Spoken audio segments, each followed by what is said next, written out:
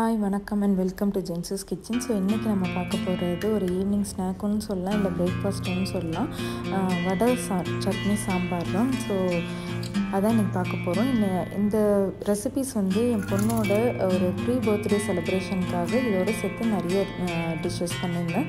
So அது சேர்த்து நிறைய ரெசிபிஸ் நான் வந்து என் பொண்ணோட ப்ரீ பர்த்டே செலிப்ரேஷனுக்காக பண்ணியிருந்தேன். ஸோ அதோட எல்லா லிங்க்கும் வந்து நான் கீழே இந்த வீடியோக்கு கீழேயே கொடுக்குறேன். ஸோ ஃப்ரீயாக இருந்தீங்கனாக்கா செக் பண்ணி பாருங்கள்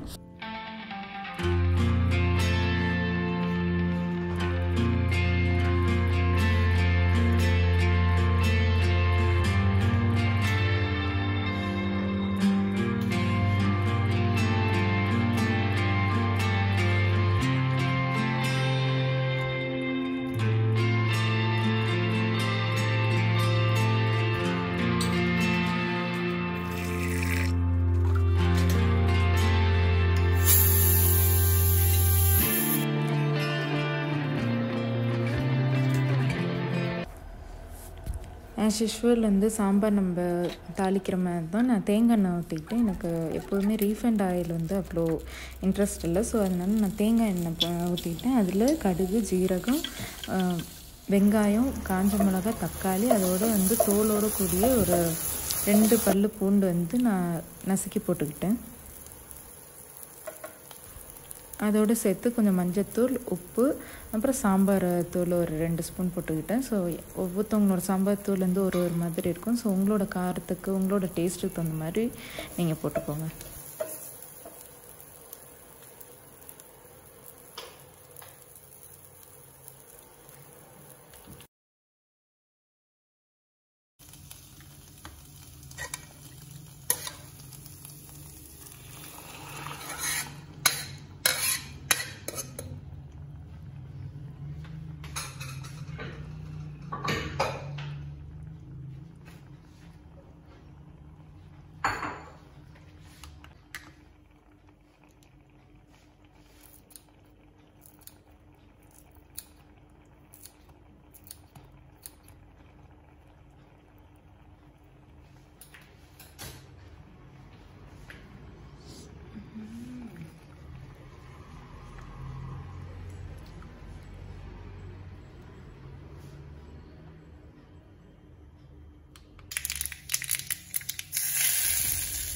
அடுத்து வந்து சட்னி தான் தேங்காய் சட்னி. ஸோ எப்போதும் போல் தான் நான் ரொம்ப தேங்காய் சட்னி வந்து நார்மல் தான். ஸோ தேங்காய் சட்னி பொட்டுக்கல்ல பச்சை மிளகா ரெண்டு முந்திரி மட்டும் கொஞ்சம் ஆட் பண்ணுவேன். ஸோ அது கொஞ்சம் டேஸ்ட் கொடுக்கும் அப்படிங்கிறனால.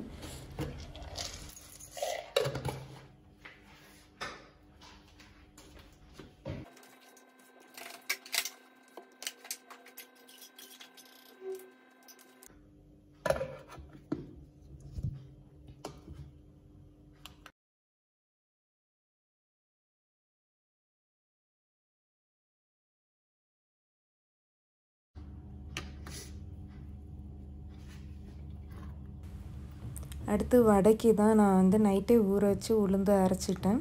அதோட வெங்காயம் பச்சை மிளகாய் இஞ்சி மிளகு ஜீரகம் எல்லாம் எப்போதும் போல் வடைக்கு ஆட் பண்ணுறது தான். என்ன ஷேப்பு தான் எனக்கு வரல. ஏன்னா ஃபஸ்ட் டைம் தான் நான் இதை ட்ரை பண்ணுறேன்